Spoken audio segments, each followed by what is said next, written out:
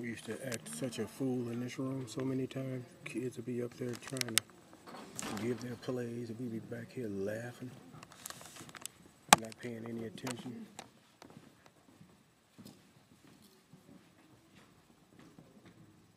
And not thinking about the teacher.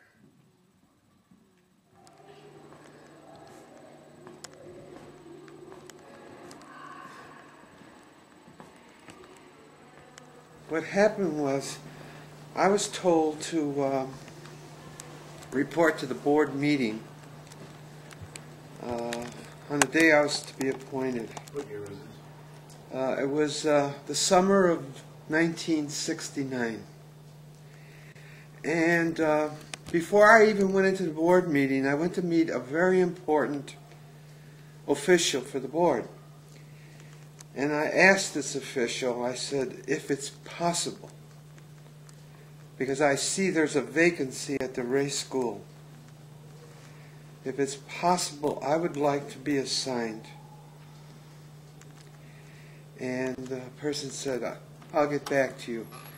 I was sitting in the boardroom waiting for the meeting to start, and this official secretary came and she gave me a little piece of paper that was this big. And I started to unfold it. And when I unfolded it, it said R A Y. so I knew before the board even announced it that I was going to be appointed to the Ray.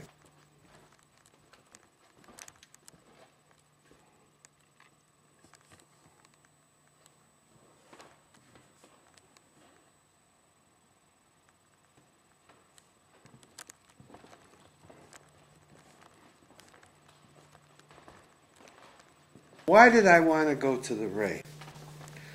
First of all, uh, when I was preparing for the principalship ex- examination, the board used to have a, a an exam, uh, a written exam, six different areas. You had to be uh, aware of administration, supervision, language, mathematics, science, and social studies. You had to pass all of them. About 2,000 took the test that 82 of us passed.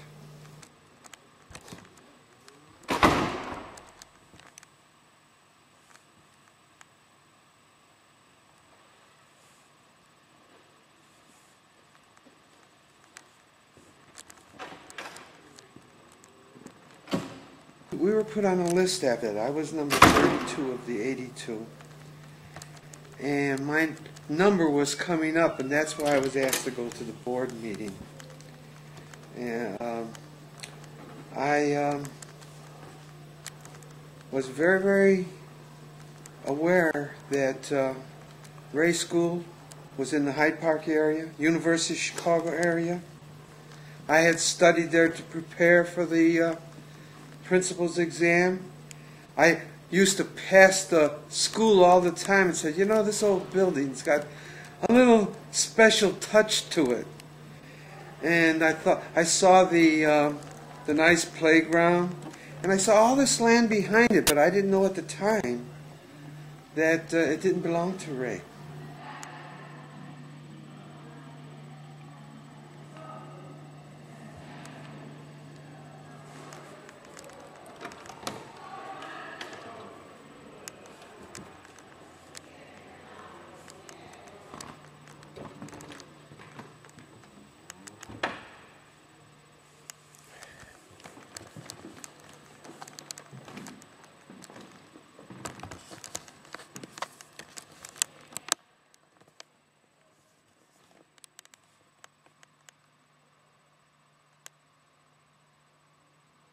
And so, um, and I saw the small building at the other end. And uh, I, I said, boy, this would be a nice little challenge for me to start. What I didn't realize is when I finally was appointed to the school that the previous principal, and I won't mention his name, was was going to transfer. Let's put it that way. And um, Dr. Melnick uh, told me, he said, I want you to do a good job. I said, don't worry about that. I do a good job wherever I go.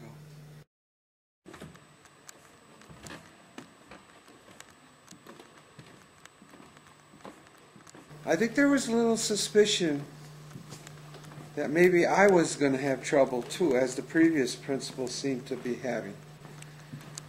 But I told you, I had such wonderful training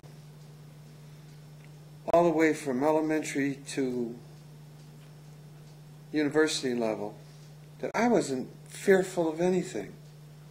I was going to go into this school and we were going to develop it.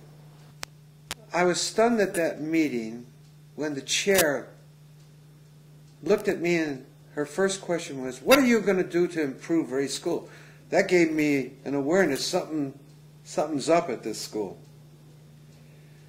But it, I quickly said, Wait a minute, you got it wrong. You should be asking me, What are we going to do? Because I never do anything by myself. And from that point, we discussed the various elements that I would be addressing. I says, first of all, I will bring safety to your school. I said, any child that comes to that school will be safe. I will make sure of that personally and collectively with the faculty. I said, secondly, after I become aware of the total instructional program, I said, I will work towards even improving it. I said, I want you to understand, I have great respect for Ray. I know your past history. I says, I don't know of any recent trouble, but as soon as I'm made aware of it, I will address it. And unfortunately for that chair, within a couple of weeks, just before school opened, she was involved, her family was involved in a car accident in New York, and her son, who was a Ray's student, was killed in the accident. And I remember that was one of my first duties of going to the synagogue for his uh, funeral services.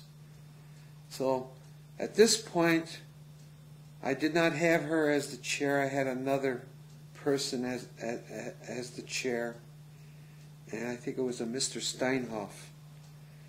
And even Mr. Steinhoff was a little wary of me, but after a while he said, You were the right one to be appointed to this school. And I was standing outside when I noticed a group of youngsters, teenage youngsters, at the far door, the south gate where the playground was.